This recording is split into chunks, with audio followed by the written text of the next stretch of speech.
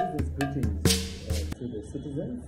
Uh, we hope you had a Merry Christmas and wishing uh, for a happy New Year. Uh, the Civil Protection Unit has alerted the city to impending floods due to incessant rains. Uh, these are going to affect the low-lying areas, in particular Budiriro, Hopley, uh, and other areas, and people who are situated in wetlands. These floods serious floods. We have already uh, lost as a city two lives uh, to the last flood uh, that occurred a few days ago, and a huge amount of property and houses have been destroyed. We have created two camps uh, with the assistance of Civil Protection Unit. Uh, the camps are in Budiriro 3 uh, Primary School and Kwajana 3 Primary School.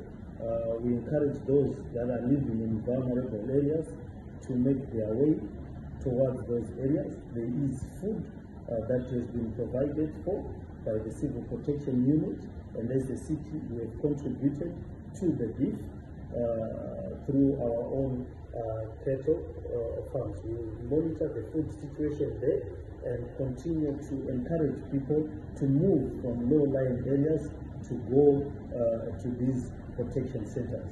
Uh, the rains are serious, they are devastating, and we encourage people to uh, to not move around unless necessary uh, and keep alert so that uh, we will not lose lives and other property.